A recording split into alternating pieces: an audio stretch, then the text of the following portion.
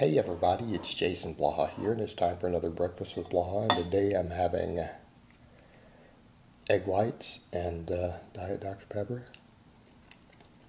If you have anything negative to say about my food, I'm going to press the ban button. Just be aware of that. I don't have time for it. Hitting elite numbers while successfully cutting as a 45 year old man can assure you my nutrition is okay. So, let's talk a little bit about the big five strength standard I set years ago because this always comes up and people always, they're confused about what it is.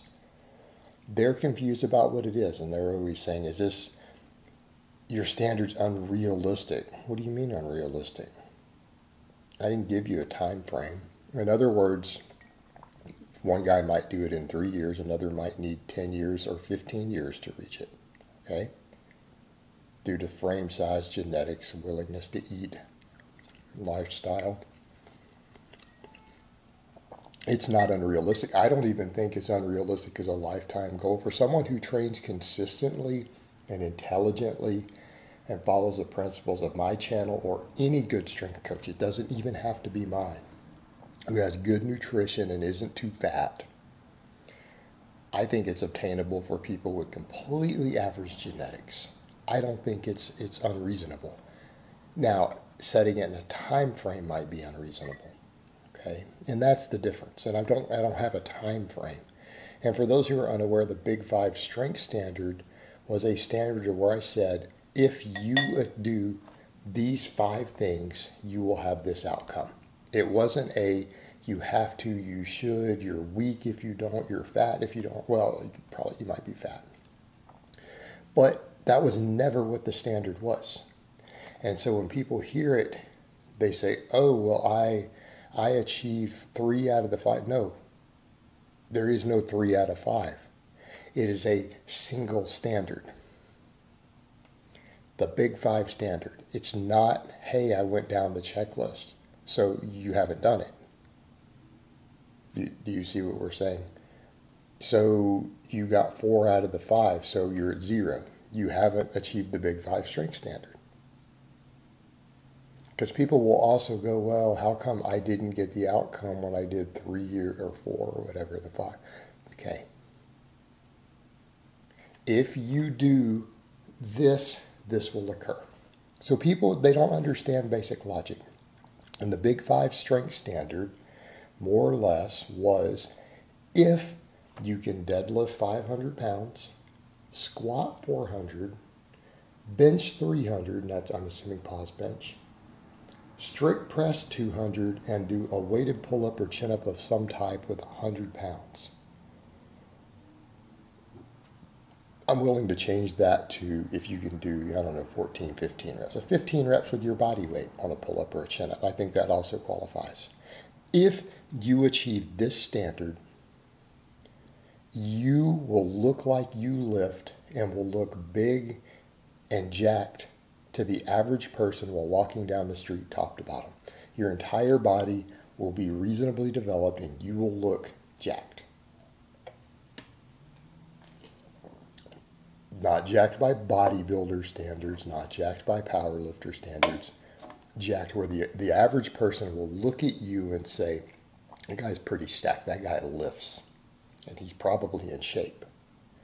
Now, you always have people who chime in with, well, different people have different heights. Well, to look like you lift if you're short, you have to be even bigger.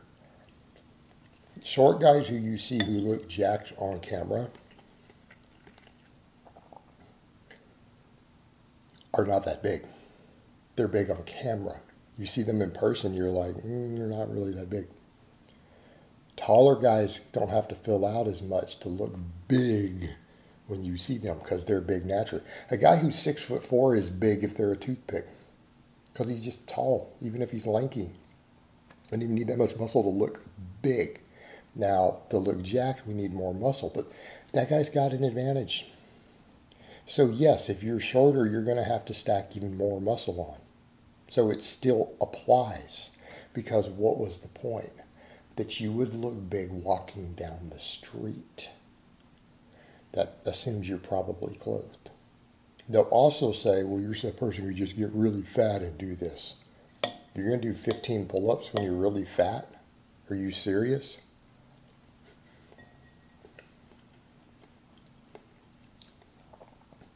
You're going, you're just going, you're going to get fat. You can bulk to 300 pounds and do 15 pull-ups. That's pretty hardcore. You got some serious back and arm strength. You probably are pretty jacked then at that point. Look, a 300 pound man who can do 15 pull ups. Holy crap. I don't know why the guy only benches 300 and only squats 400 at that point. But we come over to the point of, well, they could get the, the four out of five. Okay, people will say that. No, you mean zero. There is no four out of five. It is a standard. You have to do this to achieve this outcome. And that if you do A, then B will occur. Not you can do part of A. No, it's the whole thing. It's the whole thing. It's not, if you don't achieve A, it is impossible to achieve B. Okay, that's not it. If you don't achieve A, you're a big pussy. That, that was not it. If you don't achieve A in four years, you didn't meet Blaha's standards. Nope, that's not it either.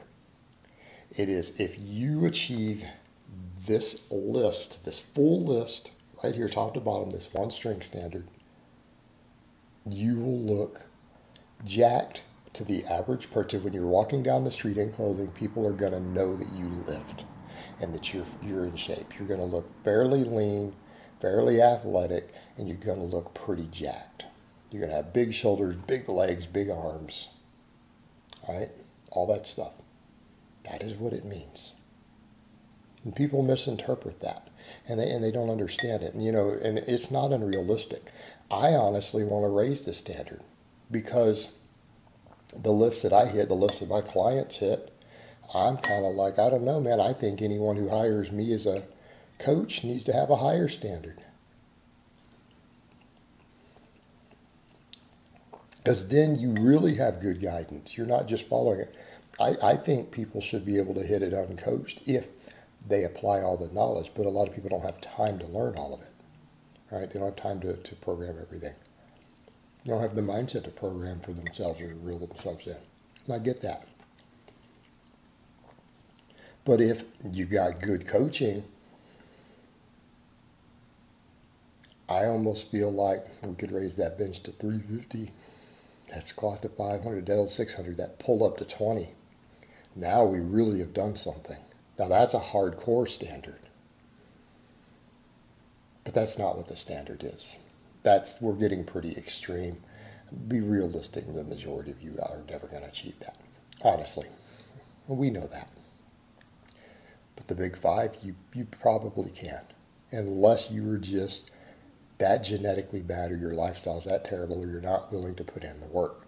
It's just that for a lot of you, it might be 10 years of consistent work to get there. Okay, so what? But that's what the standard is. All right, guys, but that's really all I have to say on that today. I hope it's been informative, and I will talk to you guys next time.